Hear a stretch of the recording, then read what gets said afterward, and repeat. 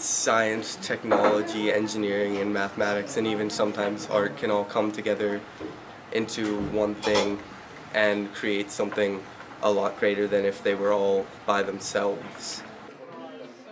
STEAM is not a program, but a philosophy. It's the idea of teaching the arts along with science, technology, engineering, and math. audience.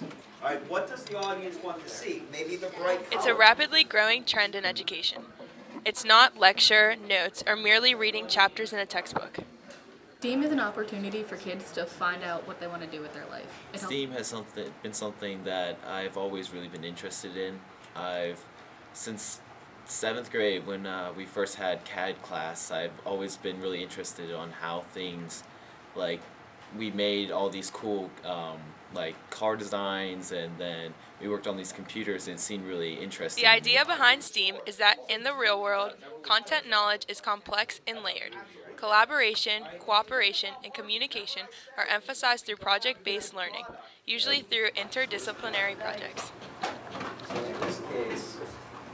Because the whole point behind STEAM is that science, technology, engineering, arts, and math is so inexcusably intertwined with each other that no matter what you do in your future, they're so embedded in industry that you have to understand all of them to do whatever you're doing. The STEAM room will have helped me increase my knowledge about engineering and all the things that I'm interested in uh, exponentially. And I'll be able to tell the college that I want to get into that we have this amazing room to use and that's at my disposal to just like be creative and Higher technology is kind of essential for communications. but we don't always have over-the-top equipment.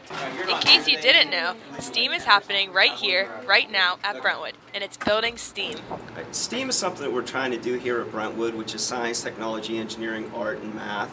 And we're trying to pull different classes together, all those classes I just described, so that we can do real-world based projects so that students can be better prepared for future endeavors like college, work, life in general.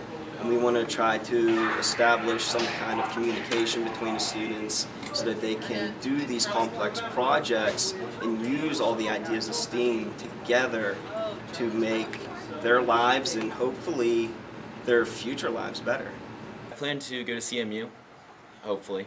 I mean, maybe even at MIT if they let me in. I doubt that, but uh, I want to go into maybe electrical or civil engineering. The ultimate goal of STEAM is to create problem solvers, innovators, inventors, and logical thinkers in our students, preparing them for college, work, and life. This is Laura McGowan reporting for Week in Preview.